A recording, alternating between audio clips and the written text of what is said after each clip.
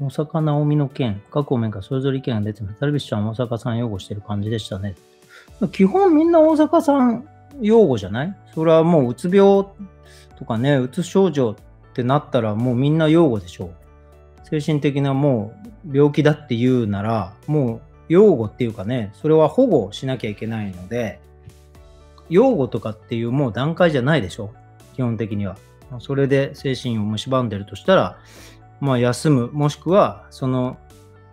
精神状態を鑑みたシステムを採用して彼女の精神状態を守ってプレイできる状況にするしかないわけだからもう今の段階はもう賛成反対とかそういうことではもうなくなってるので彼女がああいう宣言をしたっていうことは、うん、選手の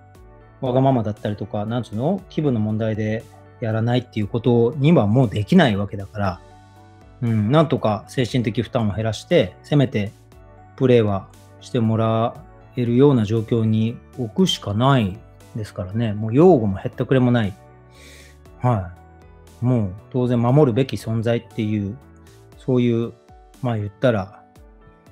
社会的なそういうポジションなので、精神的に、はい。やっぱり、まあ、うつ、うつだっていうふうにご自身でおっしゃってましたから、その状態だというならば、もう本当になんとかそういうストレスないように、社会復帰できるように頑張ってもらうしかないので、だから既存のルールではもう対応できない状態だっていう宣言を本人がされたので、はい、あの、機構側とかメジャー側は既存のルールを変えて、まあ、インタビューだったりとか、そう精神的なストレスを彼女が感じるというものを避けて、まあ、それで業界が縮小しないように、なんとかあの試合の中継だけはできるようにとか、うんまあ、ご本人が一人でね、試合の感想を言うとか、そういったことだけは許してもらうとか、なんか事前策を考える必要があるっていう段階に来てるんじゃないですか？もう感情の問題はもうなしでしょう。はい、我々のね、外側がどうするべきだなんていう感情の問題はゼロでいいと思います。はい、あとは彼女の精神的状態をこれ以上本当に傷つけない、まあ、蝕まないようなシステムを早く準備できるのかどうかっていうことにかかってるんじゃないただ彼女をベースに全てのルールを決めるっていうのは間違ってると僕は思うので、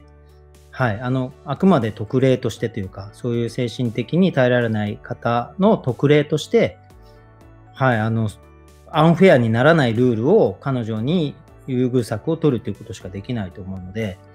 まあ、そうしないと本当に露出することとかインタビュー受けることとかを自分たちの営業活動の一つだと思って、それに尽力してる人たち、選手がたくさんいるから、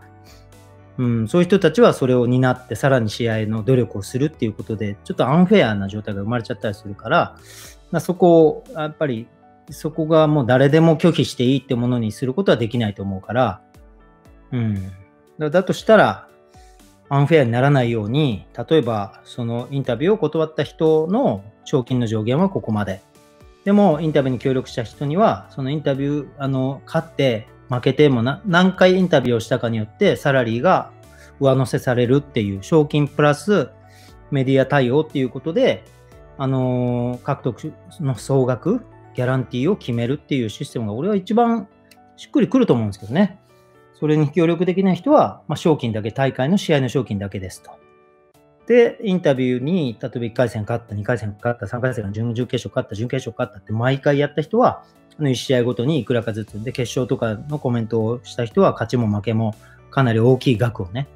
はい、あの優勝賞金がま数百万ドルだとしたら、